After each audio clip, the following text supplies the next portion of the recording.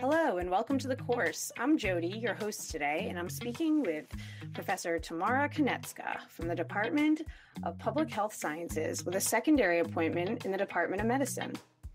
Professor Konetzka is an internationally recognized expert in the health economics of long term and post acute care.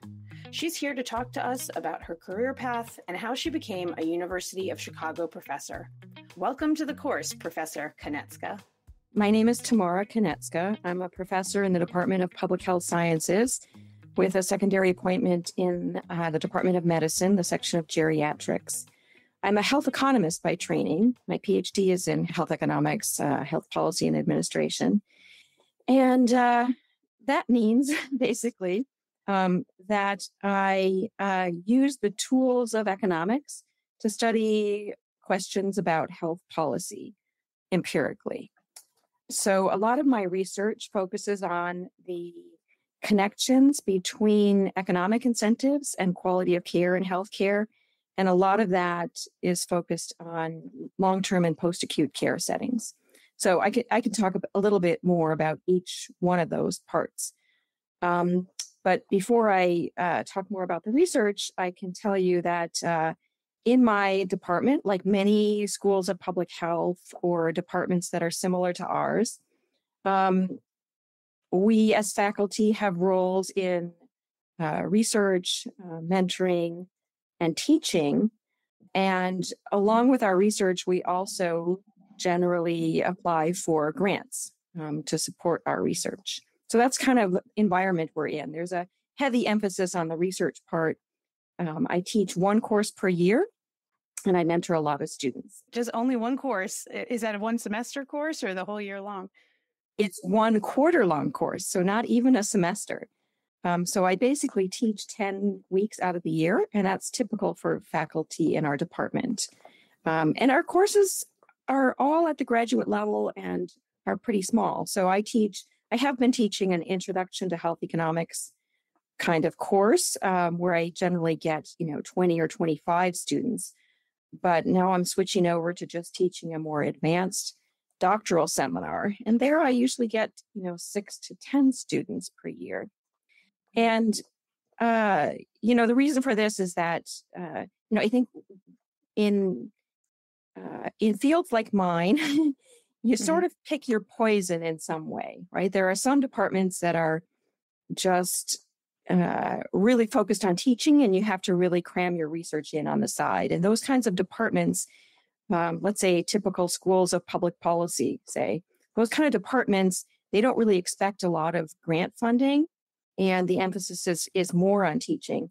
In our world, um, because there's such a heavy emphasis on grant funding, and um, and in fact, I do need a lot of funds to buy the very expensive data I use, etc. Mm. And I have entire teams of people working on my research projects um, to do all of that, the, re- the the research focus is very heavy. So, so before we get into too many details around the research, and I know I've been I've been looking over um, your website on the university website, uh, your page on the university website a bit, and I can see that you've published a lot of things and are you have your hands in a lot of pots, including um, things related to the recent COVID nineteen pandemic. So I want to hear more about that. But let's let's like cycle back to when you were young is did you always dream of like playing around with big data or what did what did you think you wanted to do when you were younger i yeah i had had a very strange trajectory leading me to health economics and mm-hmm. academia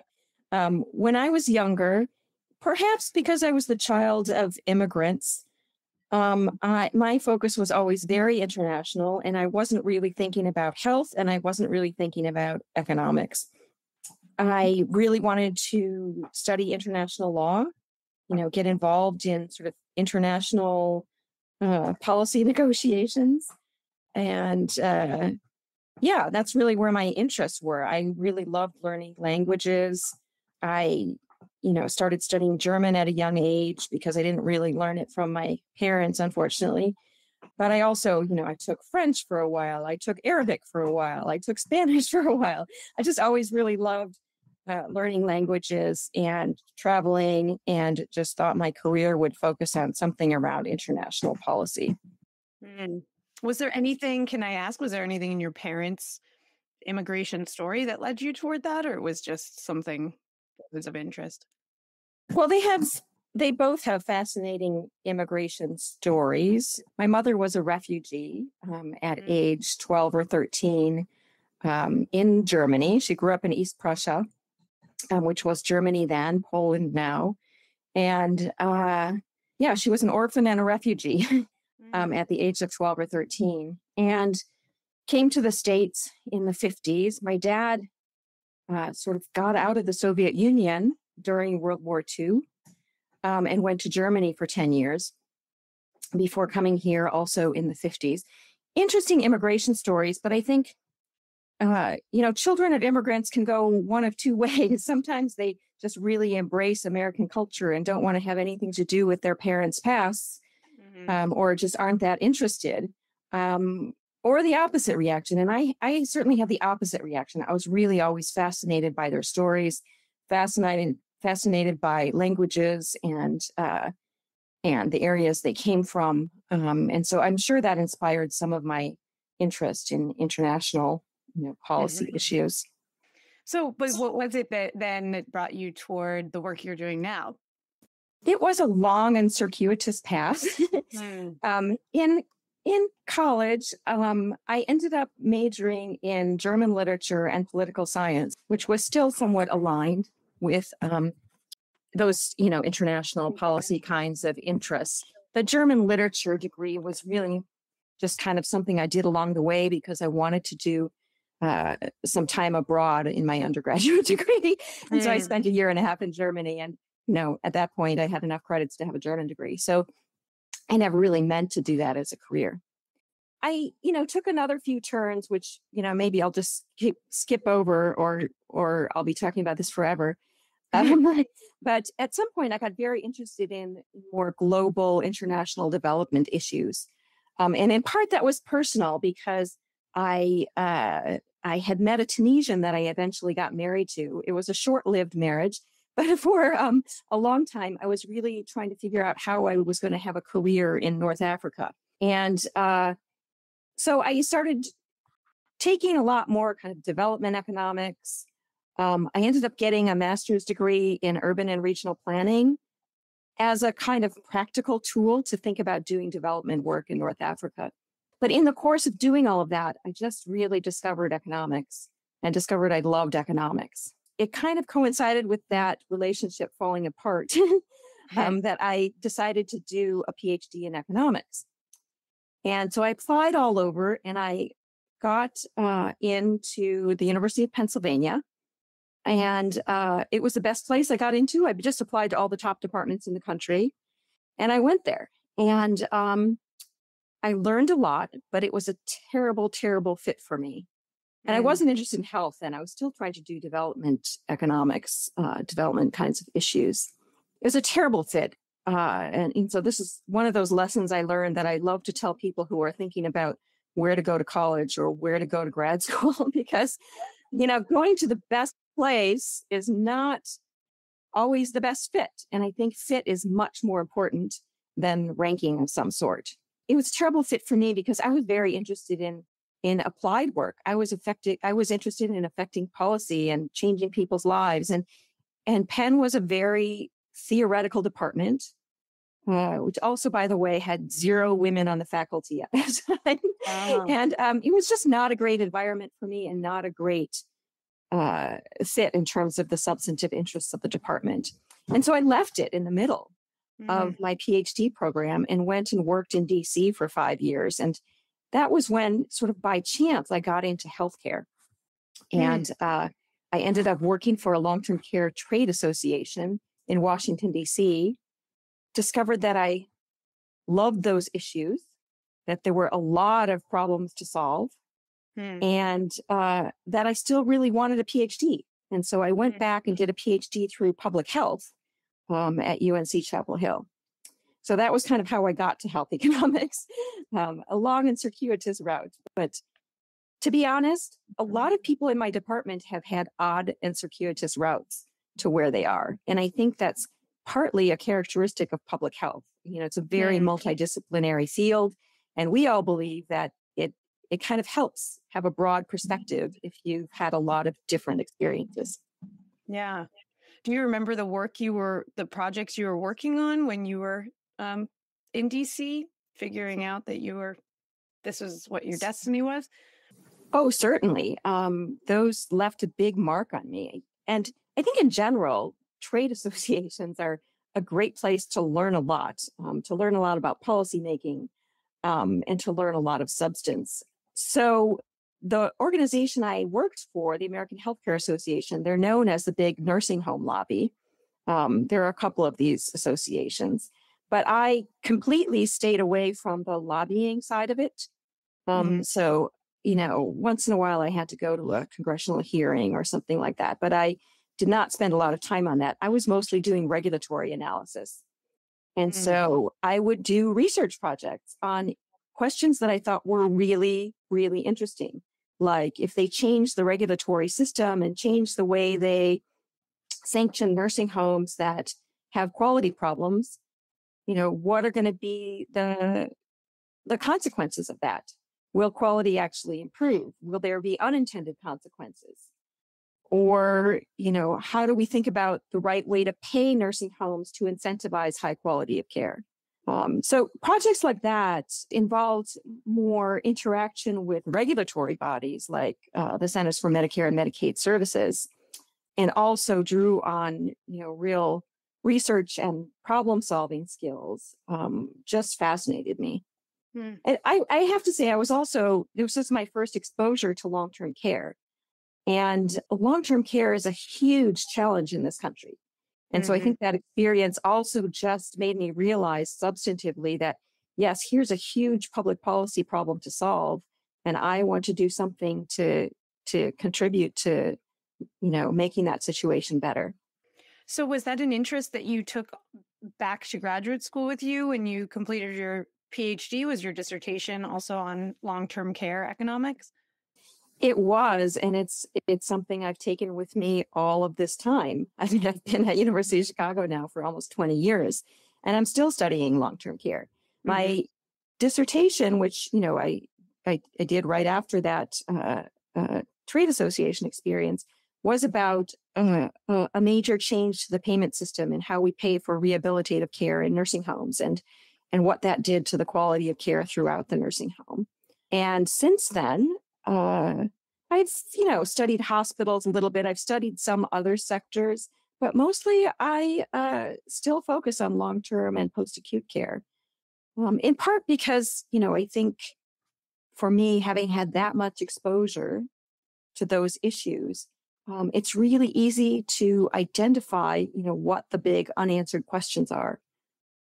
So I know uh, I was doing a little reading before our conversation and saw that you had you had been to the Senate to testify on on long term care during the COVID nineteen pandemic. Can you talk a little bit about how your research translates to took you back to Washington and, and translated to that specific policy um, work? I should preface that by saying that most of my research over the years, even though I'm interested in very applied issues, mostly I'm engaged in kind of longer term research that tries to get at causal effects, right? Using the using the tools of economics to get at causal effects. And you know, these are research projects that sometimes take years, and I, I think they're very policy relevant. Um, but to uh, sort of engage in the rigor that I want to engage in, you know, I'm I'm an academic, right? Mm-hmm. Um, so COVID kind of changed things pretty dramatically and pretty quickly in that here was a situation where people in long term care were really at risk. This became clear very early on in the pandemic.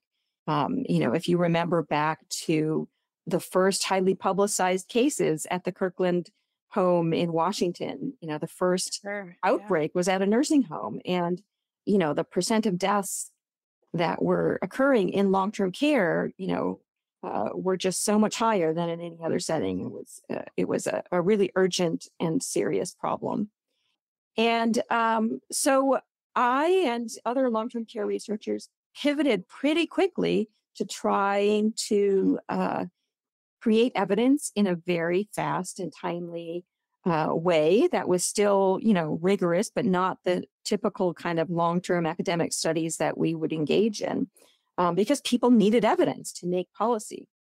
And mm-hmm. so, you know, uh, one of the things I've studied a lot over the years is the relationship between the sort of healthcare report cards that um, the Center for Medicare and Medicaid Services puts out, like ratings, quality ratings for nursing homes, and consumer and and provider response to those nursing homes. Um, so basically, nursing homes are you know rated on a five point five star scale um, in terms of their quality. So I just jumped in and started looking at the relationship between COVID outbreaks and quality. Discovered some really important uh, I think we had some really important results that were counterintuitive for a lot of people.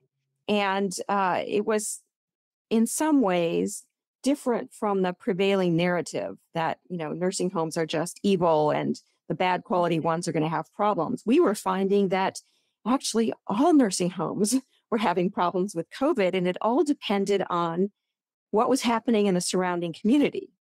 Um, and it turns out, you know, when people need a ton of care and you have caregivers going in and out every day, it's really hard to keep the virus out, even if you're a high quality facility.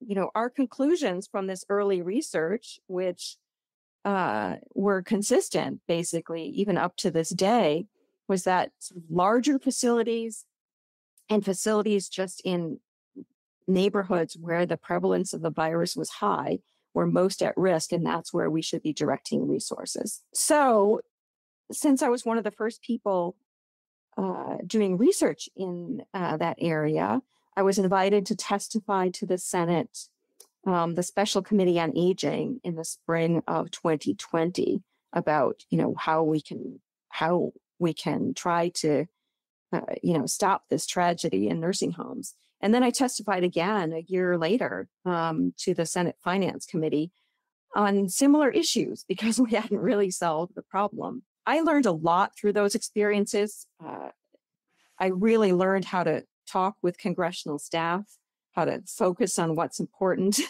I really t- learned how to talk with uh, media, at least in a much better way than I had before.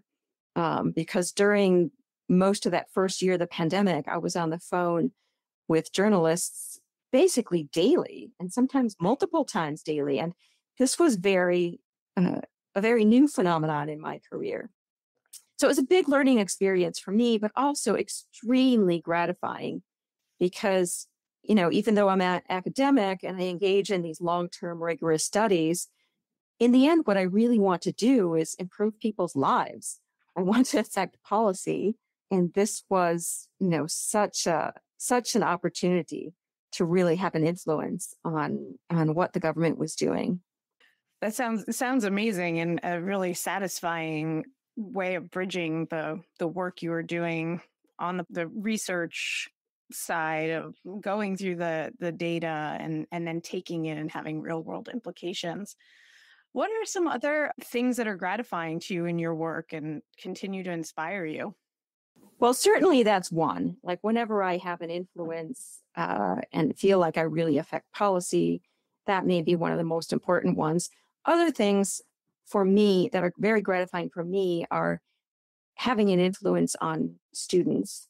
Um, I really enjoy mentoring.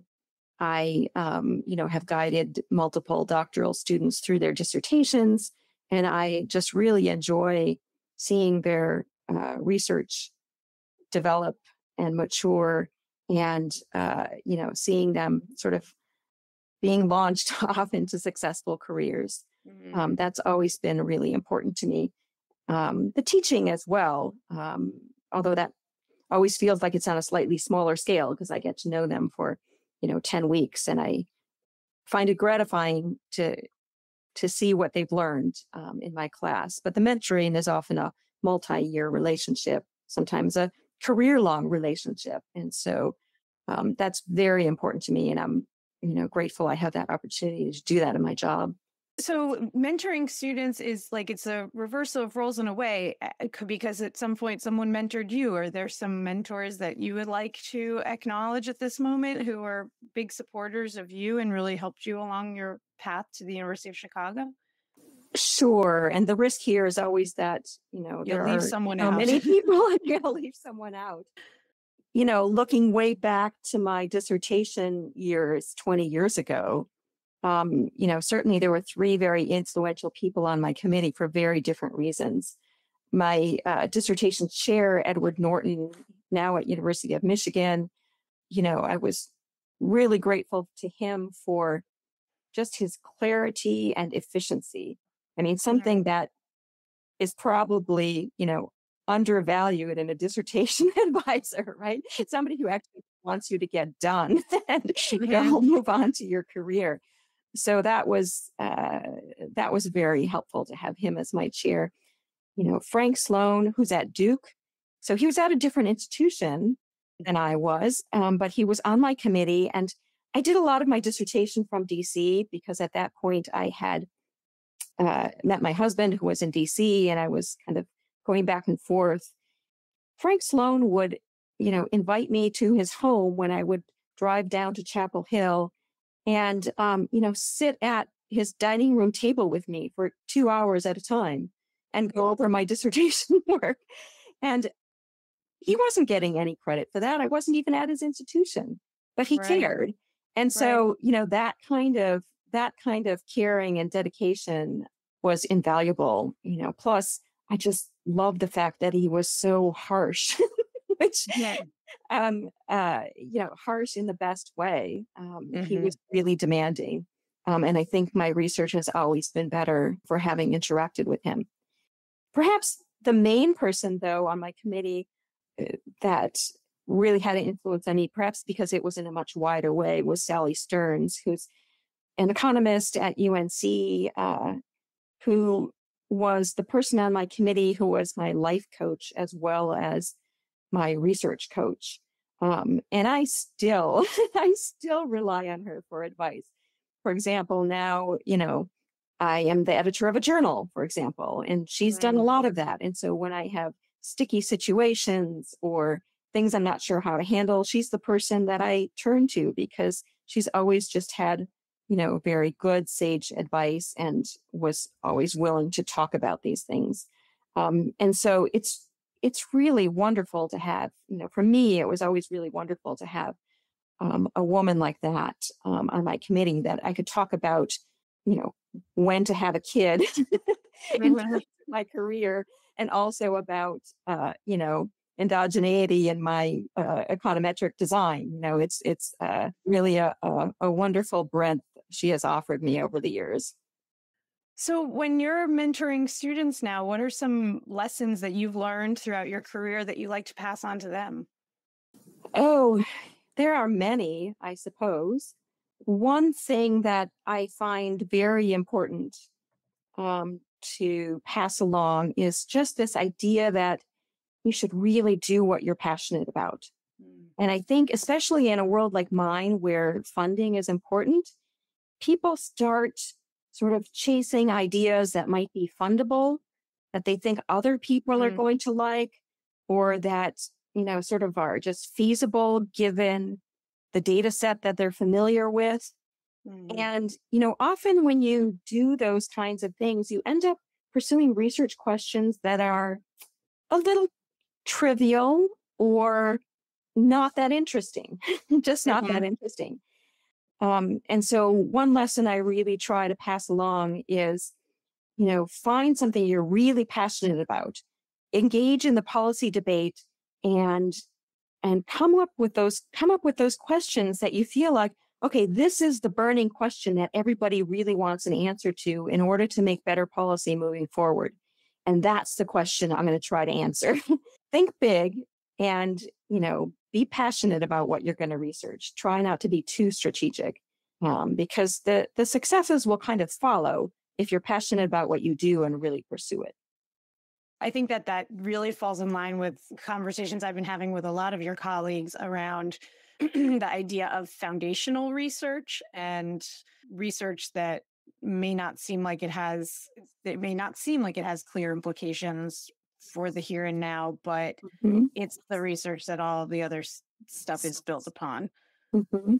so how about um, ideas for people who might be thinking about coming into this field uh, what what advice do you have or if there's any other advice on getting into health economics things to study or um, how to find out how to identify am i really the right is this the right field for me? Right.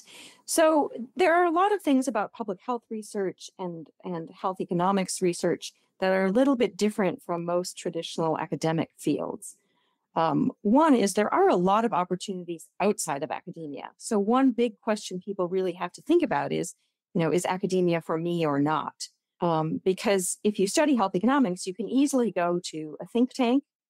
Um, and I've had students who do that if they're not really, especially people who are uncomfortable with English and don't want to teach, for example. Um, you could also go to government. You can also go to industry. There are lots of outside options that directly use your training, right? And so that's one big uh, I think question people have to ask themselves. You know, why academia, and is academia really for me? in my own case, you know, I just felt like academia was so appealing because I think compared to any other job I've had, the percent of time I think I, the percent of time I use my brain to think about really interesting questions is much higher than in any other job I've had. Hmm. um, and then also, I love the flexibility of it.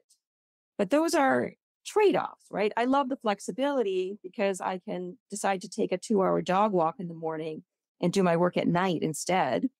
Um, and that's great. Um, but that has to be balanced with a real drive to get things done. You know, I don't end up work just because I have flexible hours doesn't mean I work less than people who have nine to five jobs. In fact, I right. probably work a lot more. Right. And so I think people really have to think, you know, do they do they have this sort of passion and drive that's going to allow them to to really pursue their own research agenda in academia and I, I, think you need to have that in academia or you know do you uh, do you want more structure do you want more uh, structure around your hours do you want to be free on weekends and not mm-hmm. be thinking about that paper you should be writing um, there there are lots of trade-offs and so i think the first question is you know really only do academia if if you think it's the right fit for you.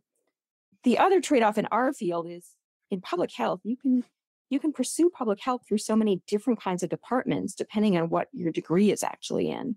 Mm. And um, I think it's important to know which kind of environment you're aiming for. So I love my environment because I'm very comfortable writing grants. And it turns out very good at writing grants. So I have never had a problem bringing in the funds I need to buy expensive data and hire teams of programmers and do what I want to do. Um, but some people are are really um, scared about the grants uh, uh, world and the whole prospect of applying for grants and having your research trajectory depend on those grants. And and then you know it's really important if you want academia um, to to find a place ideally before you even do your degree, because certain degrees kind of put you on a trajectory to different kinds of departments. But it's important then to find a place where, you know, maybe the focus is more on on teaching and grants aren't expected. And, you know, each department has its uh, you know, advantages and disadvantages depending on your preferences. So, final question Do you ever dream of a life outside of what you're doing, something completely different, not health economics related, not in academia? Do you ever imagine yourself just someplace completely different? And where would that be? Do you mean a different career? yeah, yeah, like completely di- like you own a bar in Jamaica, uh, like in a, that community or something. I don't know, just for fun. Um, so it's certainly true over the years that I've sometimes dreamed of other things. Remember, I tried a lot of things before I actually got here. So, mm-hmm. um, uh, so I don't know that I, I dream about that a lot. Um, I do sometimes uh, dream about things that I thought I wanted to do um, when I was much younger, right? Dream about uh, law, for example. mm-hmm. um, that, you know, I think I would have really enjoyed life as a lawyer, especially doing kind of international law, even other kinds of law. Like I've always been really fascinated by tax law, right? that would be a very different career for me. It probably draws on similar kinds of, you know, logic and problem solving. So maybe it's not that that different. Um, but so sometimes I, I I think about law in different directions like that. Certainly, you know, I love hiking, kayaking, walking the dog. Um, so uh, you know, careers that just uh, or or spending time just sort of out in nature, I think is very um, appealing. I don't know that I've really dreamed of the, a specific career associated with that. Sure. sure. Um, uh, you know, I've dreamed more of that's what I'm going to do when I retire. Thank you for your time today, Professor Konetzka. And course takers, if you enjoyed listening to today's interview, please check out the other ones. Leave us a comment, subscribe, follow, and share this episode with your friends and family. You can find out more about the University of Chicago through uchicago.edu or the university's campus in Hong Kong through uchicago.hk. Stay tuned for more.